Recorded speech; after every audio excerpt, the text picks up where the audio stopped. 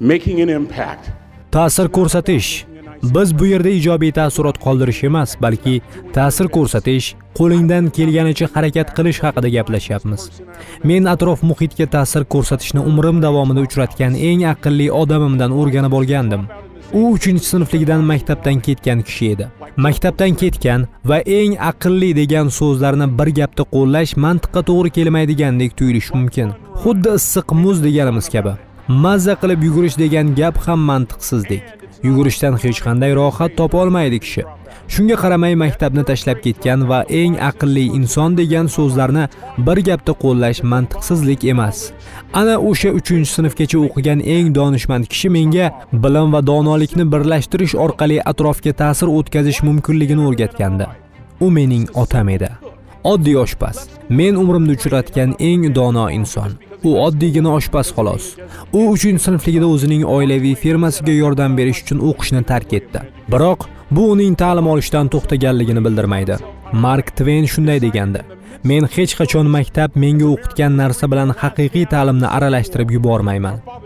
Mening otam qanday yozishni va o'qishni o'z o'ziga o'rgatgandi. Irqchilik ayni avj olgan davrda amerika fuqarolik urushi o'chog'ida qolgan bir paytda otam erkak bo'lib tik turishga bel bog'ladi.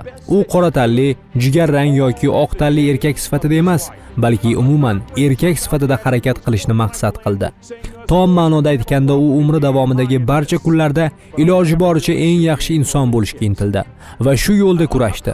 Uchinchi sinfgacha o'qigan otam mikelanjelodan iqtibos keltirardi.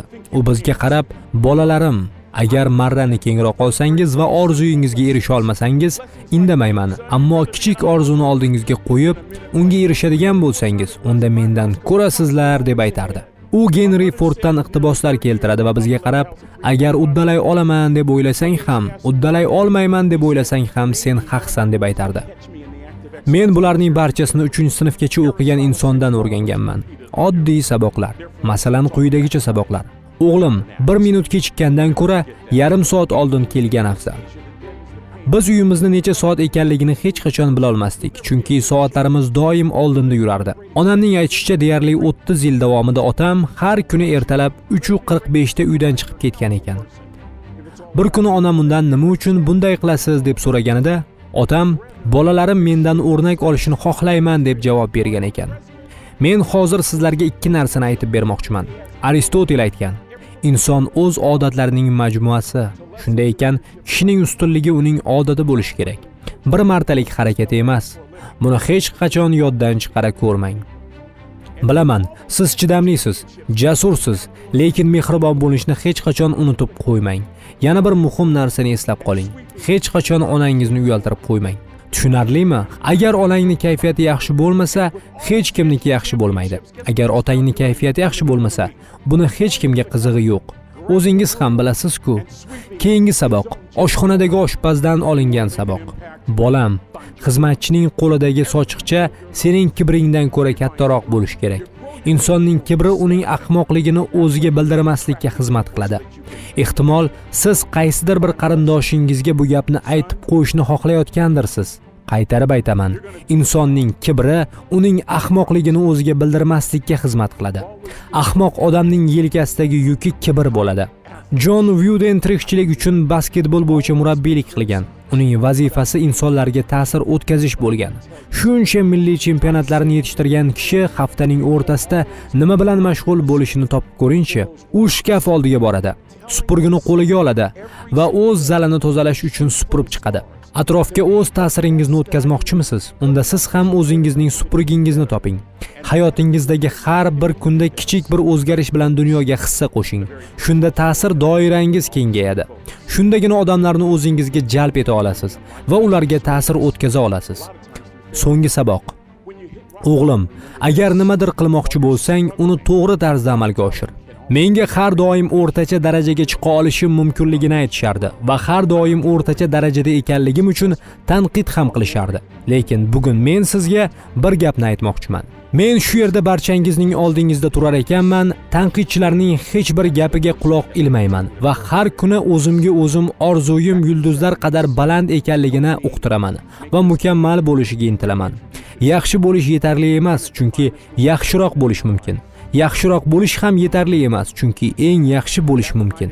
Hayotimda yuz bergan hikoyani aytib fikrlarimni yakunlasam o'ylaymanki bu hikoya barchamizning diqqatimizni bir joyga jamlaydi. Donishmandlik siz kutmagan o'rinlardan keladi ayniqsa muvaffaqiyatsizliklardan. Siz eng chuqur nuqtaga tushib qoldim deb o'ylasangiz quyidagini eslab qoling. Siz mashaqqat chekayotgan bir paytda ana shu eng chuqur o'rin ham sizning kelajagingizni qurishda mustahkam asos vazifasini o'tashi mumkin. Muvaffaqiyatli bo'la olmaslik emas balki vaqti vaqti bilan muvaffaqiyatsizlikka uchrab turmaslik xavfliroq. Qiyinchilikka bo'yin egmay ko'ngilsizlikdan so'ng ham kurashda davom etgan inson o'z ta'sir doirasini kengaytira olgan inson bo'ladi. Fikrimni yaxshiroq ifodalashim uchun sizga bir kishini tanishtiray. Men umrim davomidagi uchratganlarim ichida eng yaxshisi bo'lgan ayol bilan tanishib qoldim. O'sha vaqtlarda biz uni g'ishtdan qurilgan uy deb atardik. Bu ayol men umrimda uchratgan eng yaxshi ayollardan biri edi. Faqat bitta kichik muammo mavjud edi. O'sha vaqtlarda ayollar menga o'xshagan maydon chetida o'ynaydigan gavdali erkaklarni yoqtirishmasdi. Chunki hali bunday insonlarni maqtalgan kinolar ishlab chiqarilmagandi. Ayollar asosan hujumchi va to'p uzatuvchilarni yoqtirishardi. Biz raqs bazmida edik va men kaliforniyaning lampok shahridan bo'lgan trina Williams ismli ushbu qizni uchratib qoldim. Barchamizning kayfiyatimiz zo'r birgalikda raqsga tushayotgandik. U bilan raqsga tushayotgan paytimda men undan uning telefon raqamini so'radim. Trina menga o'zining haqiqiy telefon raqamini bergan kollejdagi yagona qiz edi. Keyingi kuni esa ikkimiz baskin va robinsonning muzqaymoq do'koniga bordik. Do'stlarim ko'zlariga ishonmasdi. Bu voqeaga 40 yil bo'lyapti. Ammo do'stlarim hali hanuz o'sha voqeaga ishonisha olmaydi biz ikkinchi kuni ham uchrashuvga chiqdik. Uchinchi kuni ham va to'rtinchi kuni ham. Biz chikodan valixogacha bo'lgan joyga mashinada bordik. Men uni ota onam bilan tanishtirmoqchi edim. Mening otam mening qahramonim. U bilan ko'rishdi va meni yoniga tortib bu qiz telbami? Sen bilan yuribdi deb hazillashdi. Shunday qilib biz 2-3-4 yil davomida birga bo'ldik. Trina kollej bitiruvchisi yoshiga yetdi. Men haliyam birinchi kurs edim biroq boshqa muhimroq masalalarni hal qilayotgandim. Men to'rtta prezident o'tgan davr ichida bitirganimdan xursandman. Bular nikson ford karter regan va nihoyat turmush qurish taklifini berishim kerak bo'lgan payt yetib keldi. Men uning dugonalariga aytdim. 70 yillardagi kaliforniyada shunaqa edi. Turmush qurish taklifi tashqarida shamlar yorug'ligida shokoladlar bilan birga bo'lishi kerak edi. Lekin men chekka qishloqdan kelib chiqqan odamman. Menda sham va shokolad emas balki fermer tayyorlagan qo'lbola vino bor edi. U taklifimga ha deb javob berdi. Asosiysi mana shu. Men umrim davomida uchratgan eng go'zal qizimga uylandim. Sizda biror marta shunday bo'lganmi? Siz to'yda o'tirasiz va to'y boshlanmasdan qulog'ingizga quyidagi gaplar chalinadi. Bu qiz nega bu yigitga rozi bo'ldi ekan? Va bu gapni mening o'z qarindoshlarim aytayotgandi. Biz turmush qurganimizdan so'ng bir nechta farzandli bo'ldik. Hayotimiz juda ham ajoyib lekin kunlardan bir kuni trina chap ko'kragida qandaydir bez borligini sezib qoldi. Ko'krak saratoni.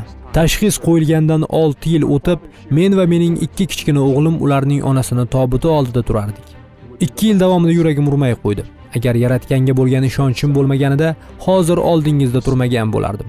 Agar mana shu ikki kichkintoy bolalarim bo'lmaganda menda bu hayotda yashab qolish uchun hech qanday sabab qolmagan bo'lardi. Men o'zimni mutlaqo yo'qotib qo'ygandim. Mana shu men tushib ketgan eng chuqur nuqta edi. Meni nima saqlab qolganini bilasizmi? Uchinchi sinfgacha o'qigan otamning donishmandligi meni saqlab qoldi. Kaliforniyalik oddiy oshpaz menga bergan ana shu bilim donolik meni asrab qoldi. Men hech qachon otamning yig'laganiga guvoh bo'lgan emasman lekin o'shanda uning yig'laganligini ko'rdim. Ayolim otamning qizidek edi. U trinani o'z qizidek sevardi. Kelinidek emas. Men otam bilan birga tobutning oldida turgan edim. O'shanda trinani umrimda oxirgi marotaba ko'rib turishim edi. Otam shunda menga qarab bir nechta so'z aytdi va bu so'zlar mening hayotimni o'zgartirib yubordi. Bu otamning menga o'rgatgan eng so'nggi sabog'i edi. U menga qarab shunday dedi. O'g'lim yiqilma har doim tik tur kurashishda davom et. Hayot dengizi qanchalik kuchli to'lqinlarga ega bo'lmasin. Sen kurashishda yiqilma. Nima bo'lishidan qat'iy nazar sen taslim bo'lmaysan. Men bu saboqni maktabda 3 sinfgacha o'qigan insondan o'rgandim. Men sizga hozir aniq tarzda qaytarib aytib beraman. Ayolimning menga aytgan eng so'nggi so'zlari shunday bo'lgandi endi menga yana qancha vaqt yashashimning hech qanday ahamiyati yo'q. Men uchun eng asosiysi qanday tarzda yashashim. Men sizlardan bir savolni so'rayman. Mening o'zim 3 sinfgacha maktabda o'qigan otamdan butun umrim davomida shu savolni eshitib keldim. Qanday yashayapsiz? Qay tarzda yashayapsiz? Har bir kun ana shu savolni o'zingizga bering. Qanday yashayapsiz? Oshxona markazida ishlaydigan oshpaz otam sizga yashash bo'yicha shunday maslahat bergan bo'lar edi. Odamlarga baho bermang ishga vaqtliroq keling. Odamlarga mehr ko'rsating. Kibringiz osmonga ko'tarilmasligini oldini oling.